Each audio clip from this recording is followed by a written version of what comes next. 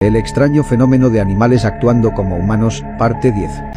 Llegamos a la décima edición de esta serie, la cual se ha convertido en todo un clásico de la cuenta. Como ya sabes, los animales pueden llegar a tener comportamientos muy turbios, especialmente cuando imitan a los humanos.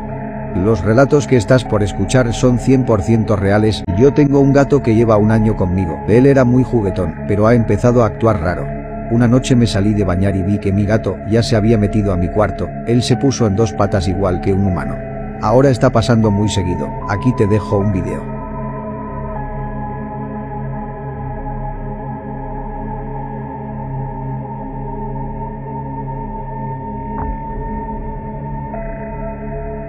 En mi barrio hay un grupo de gatos callejeros que se juntan todas las noches, parece que están planeando algo turbio, y muchos de los vecinos ya los hemos escuchado hablar. Yo he pasado por ahí a las 11 de la noche, y los gatos se te quedan viendo de forma horrible, como si estuvieran esperando que te vayas para seguir con la conversación. Hace dos meses mi hermano trajo un perro a nuestra casa y se comporta muy extraño. Él siempre está vigilando, y creo que planea hacerme daño. He tomado varios videos donde se puede ver su extraño comportamiento, acá te los dejo.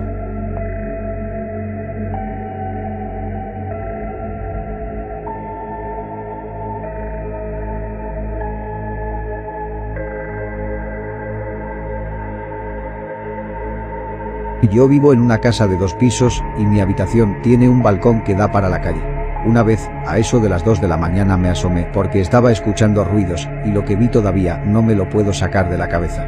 Era un animal grande, como un perro o un lobo, parado en dos patas mientras arrastraba a un niño pequeño por la calle. Cabe señalar que la zona donde vivo es poco habitada, por lo que no había nadie más en la calle y el animal se perdió entre la vegetación que estaba cerca. No quise averiguar más del tema, por no saber si eso en verdad pasó o solo fue una horrible pesadilla. En mi casa tenemos un loro que habla solo por las noches. A veces escuchamos que tiene conversaciones con alguien y cuando vamos a revisar, el loro simplemente se calla. Lo raro es que esto empezó a ocurrir desde que murió la abuela, y ella siempre se la pasaba hablando con el loro y enseñándole nuevas palabras. El extraño fenómeno de animales actuando como humanos, parte 11. En esta onceava edición, contaremos con más relatos turbios que me han enviado los seguidores sobre animales comportándose como humanos. Algo extraño está sucediendo con los animales para que tantas personas estén experimentando el mismo fenómeno. Lo más aterrador es que esto no solo ocurre con animales en la calle o en ranchos, también es muy común que pase con tus propias mascotas.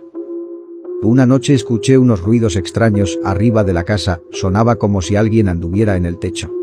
Mi esposa tenía miedo y me dijo que no saliera, pero yo quise ir a ver igual. Cuando salí escuché a unos tipos hablando arriba en el techo. Puse la escalera de mano, me asomé, y vi a dos gatos de espaldas, hablando entre ellos con una voz muy gruesa.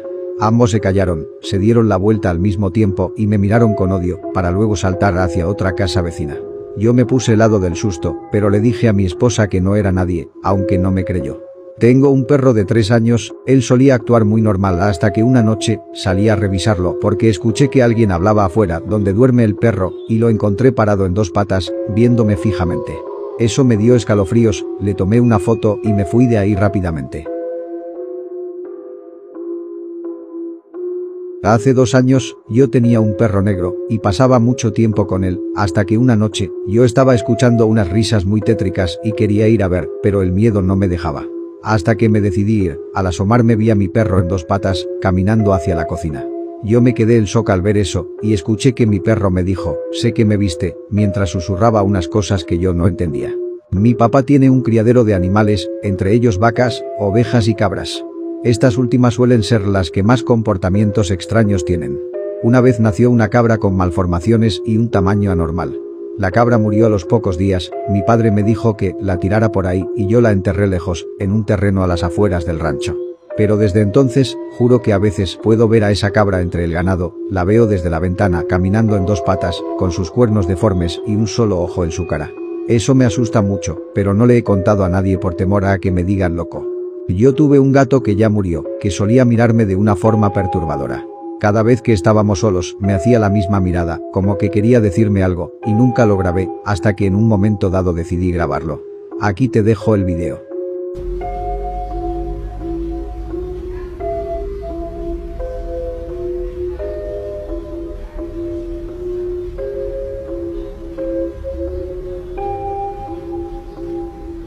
El extraño fenómeno de animales actuando como humanos, parte 12. Seguimos con más relatos de esta serie, la cual se ha establecido como un clásico de esta cuenta, y no es para menos, ya que todos los días me llegan cientos de relatos sobre los turbios comportamientos de sus mascotas, por lo que seguiré haciendo más ediciones. Una noche iba caminando con un primo, eran como las 11 pm, la calle estaba oscura y solitaria, cuando nos empezó a seguir un perro.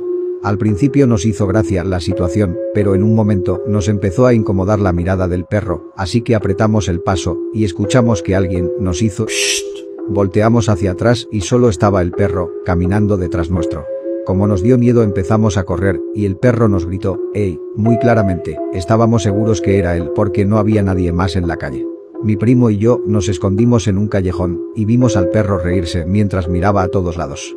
Nos estaba buscando, pero no salimos de ahí hasta que se fue.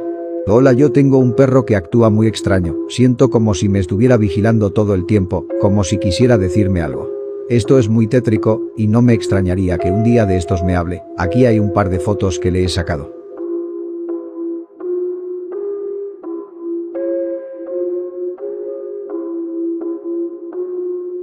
Hay una leyenda urbana que dice que si tu gato se pierde, puedes decirle a otros gatos para que le avisen que lo estás buscando, y él regresará a casa. Sé que puede sonar ridículo, pero yo lo intenté cuando se perdió mi gato, él tenía seis días sin regresar a casa. Yo le dije a unos gatos callejeros que le avisaran, y mientras les hablaba ellos me miraban fijo y actuaban como si entendieran lo que estaba diciendo.